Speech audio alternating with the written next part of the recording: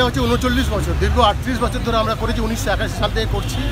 এবং দু হাজার পর থেকে আরও এটা বৃহৎ আকার ধারণ করছে, কারণ একটাই আমাদের জননেত্রী মাননীয় মমতা বন্দ্যোপাধ্যায়ের একটাই স্বপ্ন, জাত, পাত, কিচ্ছু নেই, আমাদের রক্তের সবার রং লাল।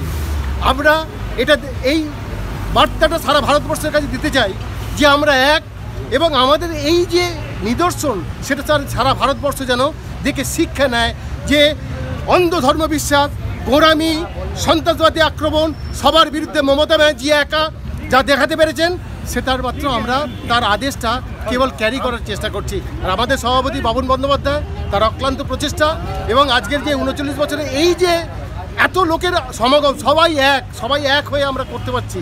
এবং আজ বিদ্রোহী কবি নজরুল ইসলামের কথায়, ওরা একই বিন্দু দুটি কুসুম, হিন্দু মুসলমান, হিন্দু তার চোখের মুনি, মুসলিম তার প্রাণ। এটা মাননীয় মুখ্যমন্ত্রী বারবার বলেন। আর একটাই কথা বলেন, খুদি কো কার বুলা দিত্তা কি হার তক বীর সে পহলে খুদা বান্দে সে খুদ পুছে বাতা তারা রাজা কে আর কিচ্ছু চাই না।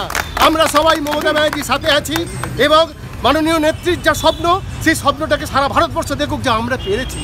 আমাদের ক্ষমতা তো সীমিত, আমরা চেষ্টা করেছি, আমরা পেরেছি।